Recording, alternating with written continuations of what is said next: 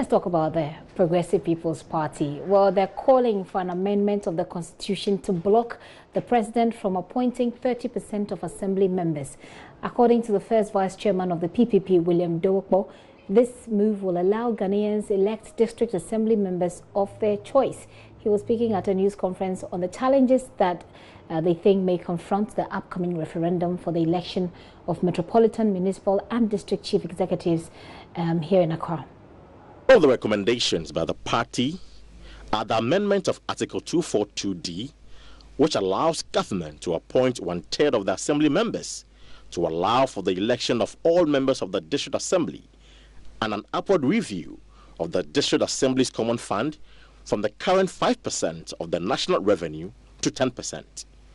First vice chairman of the party, William Dowokpor says the Ministry for Local Government and Rural Development must publicize the comprehensive roadmap with all the laws to be amended so that Ghanaians will have a clear understanding of government intentions.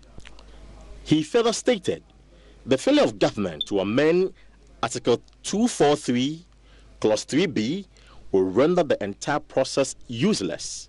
The fetish about amending 55.3 is just to make it possible for NDC, NPP, PPP to openly say we are sponsoring Mr. Parker Akon to be MCE of Cape Coast.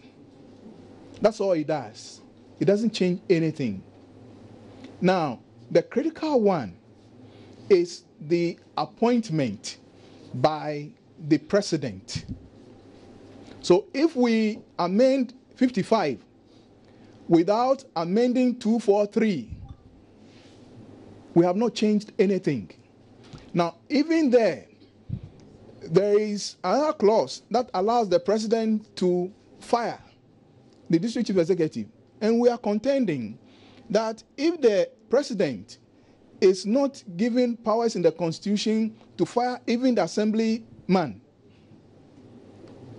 is not empowered to fire the member of parliament. Why should we or the constitution allow him to have the, power, uh, the, the power to fire the MMDCE elected by the people? I mean, that, that, that, is, that is not on. It should not happen. So. The PPP there, well, the Deputy National Chairman of the Commission on Civic Education in charge of operations, Samuel Asare Akuamoah, is urging a massive turnout for uh, the district level election referendum slated for December 17, explaining the process is not to elect MMDCEs but to amend Article 55, Clause 3 of the 1992 Constitution to pave way for the partisan election of the MMDCEs. Mr. Samuel Asare gave the explanation at the joint launch of the Upper West uh, uh, Citizens Education and Awareness Campaign on the district level elections and referendum in Wa. The new Patriotic Party NPP and its manifesto for the 2016 general election pledge to ensure that metropolitan, municipal and district chief executives are elected should they win the mandate of the people to take charge of the reins of the governance of the country. Upon assumption of office, various stakeholder meetings and consultations were held by the Minister of Local Government and Rural Development to make the pledge a reality. Upper West Regional Minister Dr. Hafiz Bin Salih stated that it is the conviction of the Akufo-Addo administration that MMDCEs should be elected by the people and urge Ghanaians to vote massively in the referendum slated for December 17 to ensure that it becomes a reality.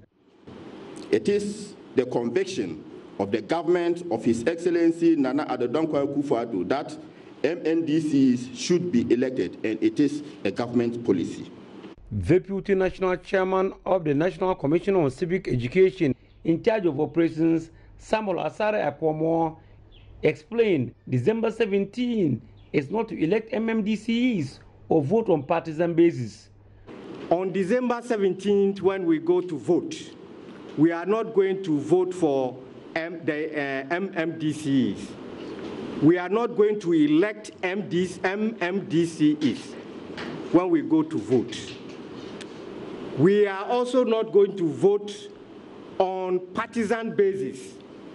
We are going to vote on non-partisan basis come December 17th. So when we go to vote on December 17th, we are either going to say that political parties come in and contest district level elections and participate in the processes, or no, we don't want you in. We want the constitution to remain as it is.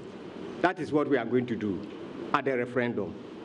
However, Upper West regional director of the Electoral Commission, Ali Osman Adamu, conceded that district level elections held over the years have never been without challenges. Low turnout is among the major challenges in the district level elections. In the district level elections, historically, the highest turnout of 59% was recorded in 1988-89 district level elections. There has been apathy towards district level elections most of the time, where citizens are not enthused to actively participate.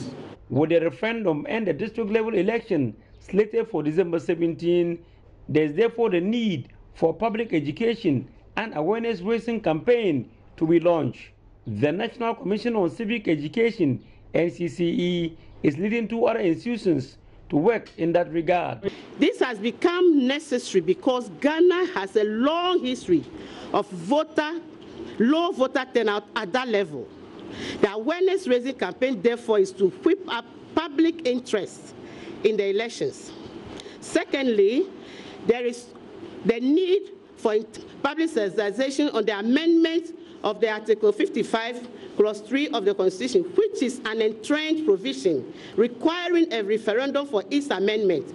It is also to correct the misinformation and misrepresentations out there on the amendment. Reporting for Joy News, Rafik Salam.